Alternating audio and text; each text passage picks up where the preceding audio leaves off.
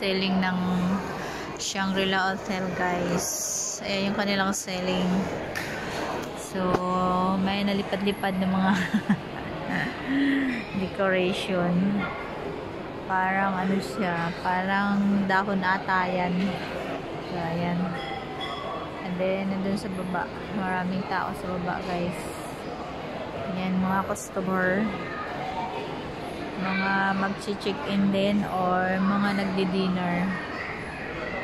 So, ako nandito sa taas, second floor.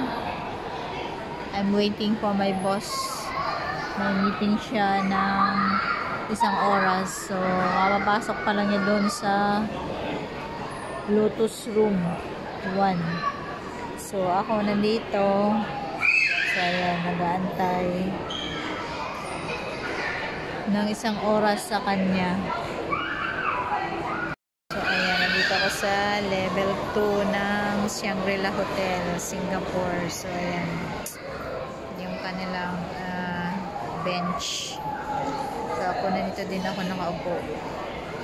So, ayan, enjoy mo na yung view dito sa ano, sa bench while waiting sa aking boss. So, that's it guys. Yan lang ang ganap sa aking video na to. Walang magawa. So, ayan, papakita ko lang sa inyo. O, diba? Ang ganda na Shangri-La Hotel. Iba talaga pag social na hotel. diba?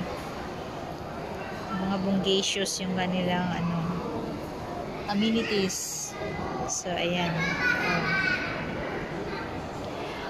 So, yan lang guys ulit. Thanks for watching. Bye!